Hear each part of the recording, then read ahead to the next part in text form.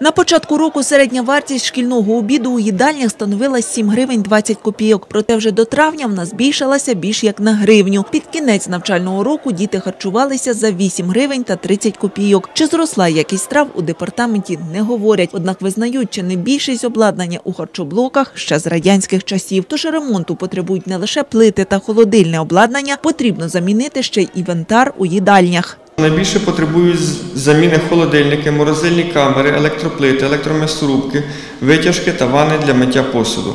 Якщо вдатись до статистики, то на заміну холодильного технологічного обладнання потрібно 4 мільйони 639 тисяч гривень. З міського бюджету на ремонти навчальних закладів виділили майже 8 мільйонів гривень. А от ситуація в області дещо складніша. Через децентралізацію не кожна громада готова взяти відповідальність за облаштування своїх закладів.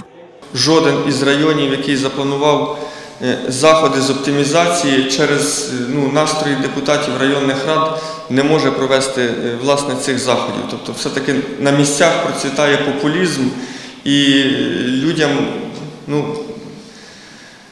намагаються продовжувати вбивати в голову думки про те, що треба зберегти все те, що є, бо це призводить до розвалу.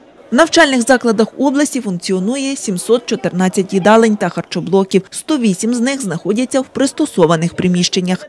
Тетяна Москальчук, Сергій Криштопа. Новини телеканал Ті 8+.